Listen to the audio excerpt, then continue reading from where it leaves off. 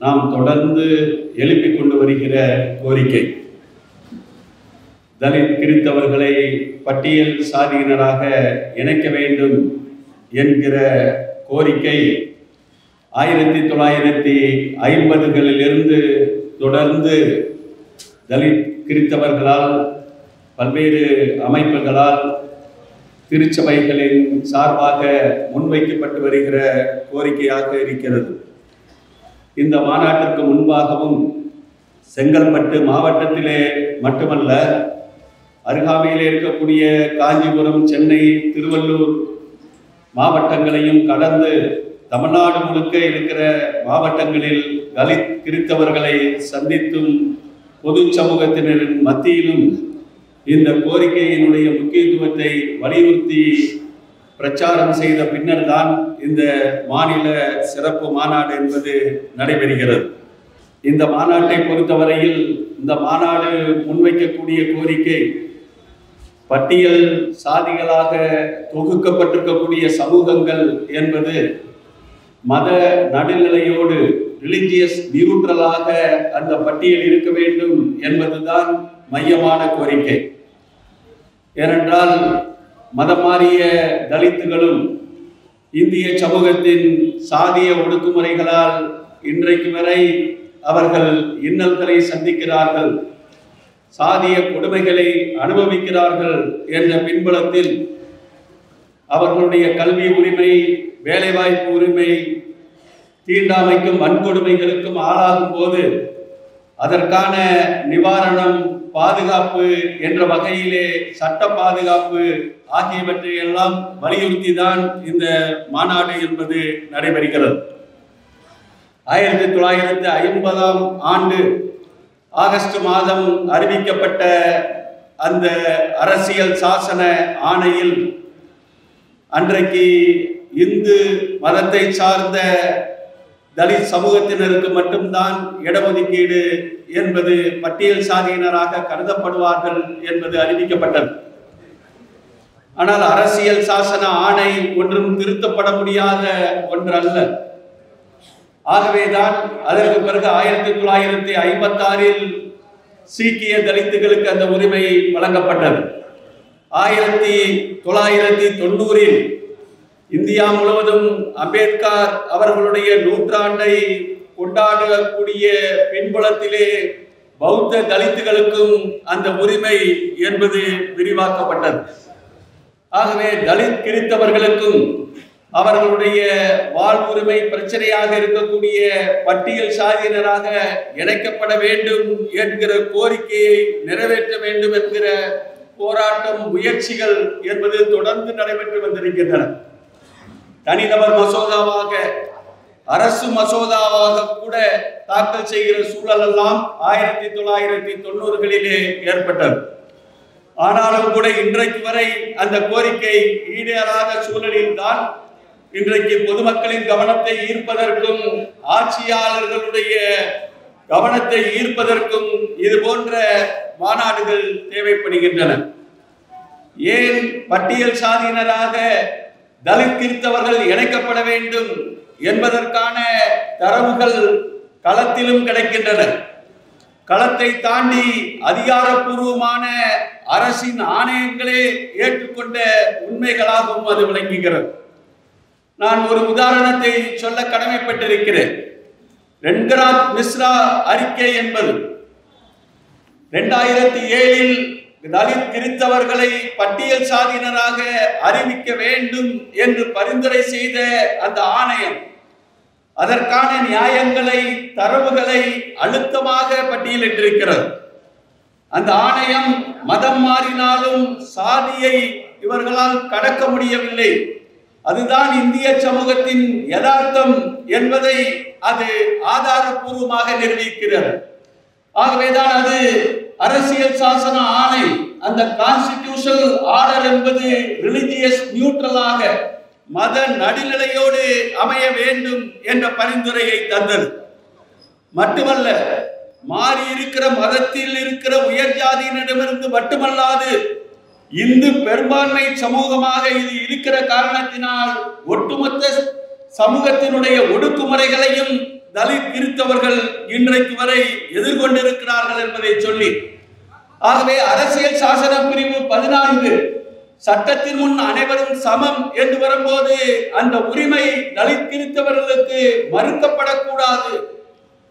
அரசியல் சட்டப்பிரிவு பதினைந்தில் சொல்லப்படுவது போல மதம் சாதி என ஒடுக்குமுறையிலிருந்து விடுவிக்க வேண்டிய கடப்பாடு ஆட்சியாளர்களுக்கு இருக்கிறது என்ற அடிப்படையில் தான் ரங்கநாத் மிஸ்ராவினுடைய குழுவினுடைய அறிக்கை என்பது அமைந்துவிட்டது. ஆனால் இரண்டாயிரத்தி ஏழில் ஒரு மிகப்பெரிய அளவில் பொது சமூகத்தின் கவனத்தை ஈர்த்த அந்த அறிக்கையை இன்றைக்கு மத்தியில் இருக்கக்கூடிய ஒன்றிய அரசு ஏற்க முடியாது என்று உச்ச நீதிமன்றத்திலே தெரிவித்தது. அதற்கு ஒன்றியத்தில் இருக்கிற அரசு சொன்ன காரணம் என்பது மதம் மாறியவுடன் சாதி பாகுபாடுகளும் அகன்று விட்டது என்று சொல்லியிருக்கிறார்கள். இதைவிட அவர்கள் சொல்லுகிற வேடிக்கையான காரணம் என்ன என்று சொன்னால் இங்கே கிறித்தவர்களுக்கு பட்டியல் சாதிகளில் இடம் கொடுத்தால் உலகம் முழுக்க இந்தியாவில் இருக்கிற சாதிய பாகுபாடு கிறிஸ்தவர்களையும் பாதிக்கிறது என்கிற தகவல் போனால் உலக அரங்கில் இந்தியாவிற்கு தலைக்குடிவு ஏற்படும் என்கிற வாதத்தை இன்றைக்கு ஒன்றியத்திலே இருக்கக்கூடிய ஆட்சியாளர்கள் முன்வைக்கக்கூடிய சூழலை நாம் பார்க்கிறோம். ஆனால் தலித் கிறித்தவர்களுக்கும் தலித் இஸ்லாமியர்களுக்கும் பட்டியல் சாதியினராக கருதப்படுகிற உரிமை வேண்டும் என்று ரங்கநாத் மிஸ்ரா கூறிய அதே கருத்தை தங்களுடைய அரசியல் லாபங்களுக்காக மத்தியில் இருக்கக்கூடிய ஆட்சியாளர்கள் சில நேரம் பயன்படுத்துவதை நாம் பார்க்க முடிகிறது. பஸ்மந்தா முஸ்லிம்களை திரட்டும் போது இவர்கள் என்ன பேசுகிறார்கள்? பிரதமரே போபாலில் நடைபெற்ற பொதுக்கூட்டத்தில் பேசும்போது பஸ்மந்தா முஸ்லிம்கள் ஒடுக்கப்படுகிறார்கள். பஸ்மந்தா முஸ்லிம்கள் பின்தங்கியவர்களாக பின்னால் தள்ளப்பட்டவர்களாக பஸ்மந்தா என்கிற வார்த்தைக்கு பெர்சிய மொழியிலே பின்னால் தள்ளப்பட்டவர்கள் லெப்ட் பிஹைண்ட் என்கிற அர்த்தம் இருக்கிறது. ஆகவே ஒடுக்குமுறை என்பது பஸ்பந்தா இஸ்லாமியர்களுக்கு இருக்கிறது என்று பேசுகிறார்கள். ஆகவே உச்ச நீதிமன்றத்திலே சொல்லும்போது கிறிஸ்தவர்களாக மாறிய பிறகு சாதிய பாகுபாடுகள் இவர்களுக்கு அகன்று விட்டதாக எடுத்துக்கொள்ள வேண்டும். இஸ்லாமியர்களாக மாறிய பிறகு சாதிய பாகுபாடுகள் அகன்று விட்டதாக எடுத்துக்கொள்ளப்பட வேண்டும் என்று சொல்கிற ஒன்றிய அரசாங்கம். ஆனால் அரசியல் லாபம் என்று வரும்போது அவர்களே இன்றைக்கு பஸ்பந்தா முஸ்லிம்கள் ஒடுக்குமுறையால் பாதிக்கப்படுகிறார்கள் என்று பேசுகிறார்கள். ஆகவேதான் உச்ச நீதிமன்ற அமர்விலே வரும்போது சஞ்சய் கிஷன் கவுல் முன்னாள் சென்னை உயர்நீதிமன்றத்தின் தலைமை நீதிபதியாக இருந்த சஞ்சய் கிஷன் கவுல் அவர் சொன்னார் என்ன அழுத்தமான ஒரு கருத்தை வெளியிட்டார். அவர் சொல்லும்போது சொன்னார் நாங்கள் அரசியல் சாசன கேள்விகளைத்தான் ஆய்வு செய்வோம். எங்கள் கண்களை மூடிக்கொண்டு இருக்க மாட்டோம் என்று சொன்னார். ஆகவே அந்த சூழலில் தான் ரங்கநாத் மிஸ்ரா குழுவினுடைய அறிக்கைகள் தான் தரவுகள் என்ற அடிப்படையில் உச்ச நீதிமன்றத்தால் எடுத்துக்கொள்ளப்படும் என்கிற சூழலில் இரண்டாயிரத்தி இருபத்தி ரெண்டு அக்டோபரிலே கே ஜி பாலகிருஷ்ணன் அவர்கள் தலைமையிலான இன்னொரு குழுவை ஒன்றிய அரசு அமைத்திருக்கிறது. இந்த குழு அமைக்கப்பட்டதே சந்தேகத்தை உருவாக்குகிறது. இந்த குழுவின் நோக்கம் என்ன என்கிற கேள்வி இன்றைக்கு எழுந்திருக்கிறது. காரணம் என்ன என்று சொன்னால் இரண்டாயிரத்தி ஏழில் தரப்பட்ட ரெங்கநாத் மிஸ்ரா குழுவினுடைய தரவுகளை ஒதுக்கி வைப்பதற்காகத்தான் இந்த புதிய குழு அமைக்கப்பட்டிருக்கிறதா என்கிற கேள்வி எழுகிறது. அந்த கேள்வி ஏதோ நமக்கு சந்தேகத்தினால் எழவில்லை. அந்த குழுவுக்கு தரப்பட்டிருக்கக்கூடிய ஆய்வு வரம்பு டேர்ம்ஸ் ஆஃப் ரெஃபரன்ஸ் என்ன சொல்லுகிறது என்று சொன்னால் இந்த கோரிக்கை என்பதை பற்றி நீங்கள் பரிந்துரை தர வேண்டும் என்று முதல் அம்சமாக சொன்னதோடு நிற்கவில்லை. இரண்டாவது அம்சமாக ஏற்கனவே பட்டியல் சாதிகளாக இருப்பவர்களுடைய கருத்துக்களையும் நாங்கள் கேட்க வேண்டும் என்று அதனுடைய டேர்ம்ஸ் ஆஃப் ரெஃபரன்ஸில் சொல்கிறது.